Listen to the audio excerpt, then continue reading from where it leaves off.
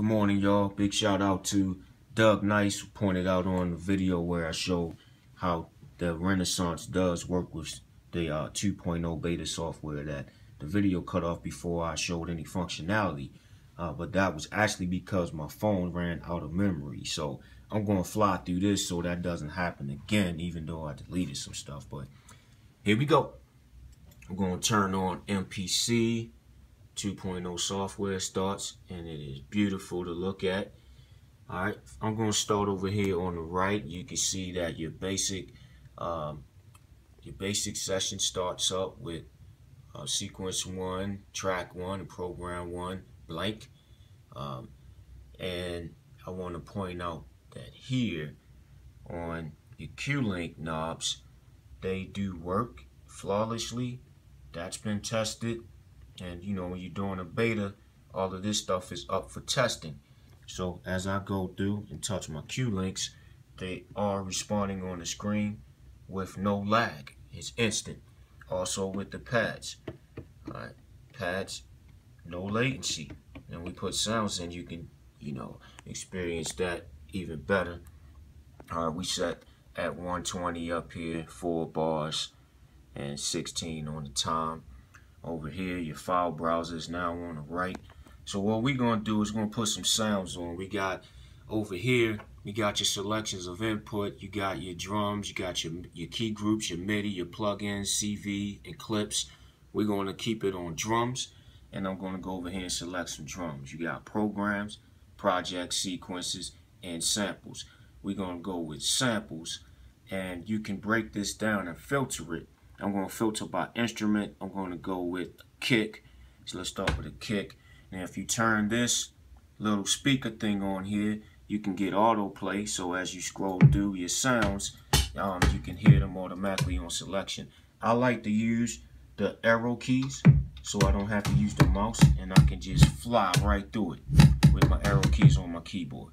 Alright, so just going up and down. Alright, so I'm going to get a kick, I'm going to drag it on the pad 1. So let's take any old kick and drag that over. And when you click back on the instrument that you selected, it'll bring you back to the selection screen, your main selection screen, and you can choose another selection. So let's go with uh let's go with a rim. Alright, I got a rim. I'm just gonna drag that rim over here to pad two. Alright, and watch this. We're gonna test this latency. I'm gonna hit my pad Pad 1 is a kick. Pad 2 is a rim. No latency. We hate latency and we don't have any here and that's great. Alright, so let's go up here. I'm going to slow this down. We got 120 beats per minute. I can do this with the mouse and cursor and move it. But I like using the hardware. I like to feel the buttons in my hand.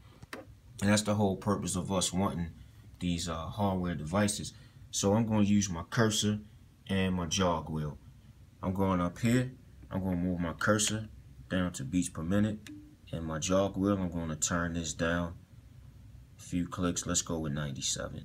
And then I'm going to scroll over with my cursor. And with my jog wheel, I'm going to turn this down to two bars. All right, and I got my one or two bar count in, whatever I have on here. Let's do that, and I'm going to tap in this beat real quick. All right, and you'll see it up, up on the screen. I'm going to arm this track.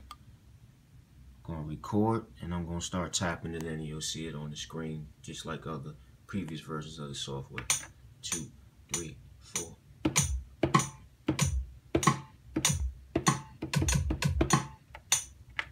Alright, so we got 2.4 on the bar. What happened there? Let's play it, see what happened.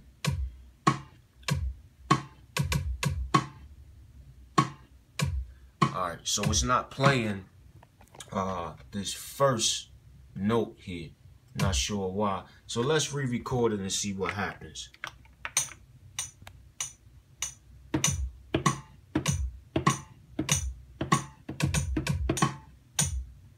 All right, there we go.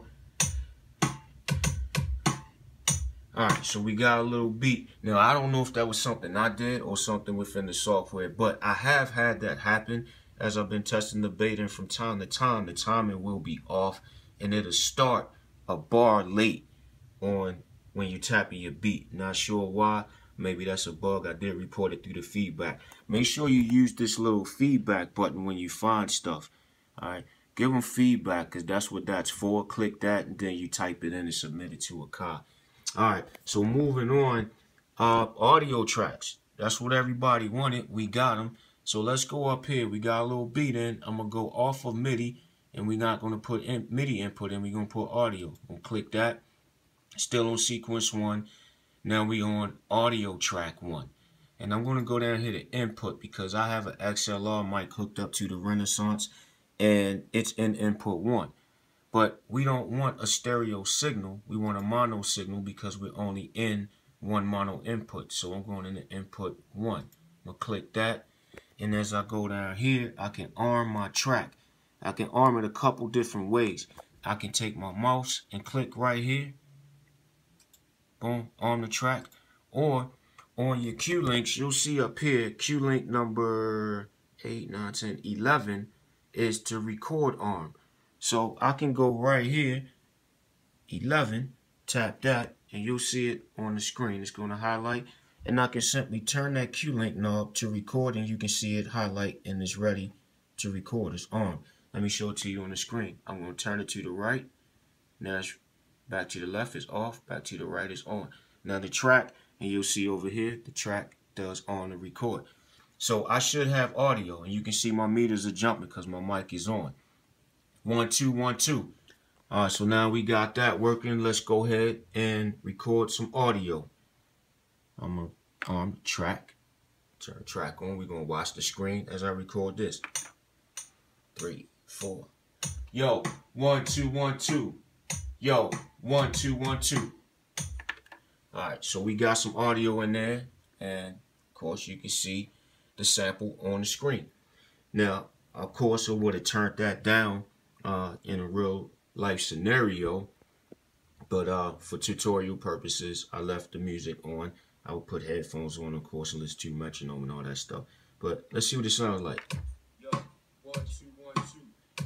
Yo, one, two, one, two. Now, you can see or hear that the timing is off a little bit. So I got to experiment some more and see if that's something that uh, is a bug in the software. Of course, this is beta. We testing it to see uh, what needs to be fixed. That's what we're doing this for. But um, maybe it's a setting that I need to change. I need to find that out. But it does record the audio. One, two, one, two.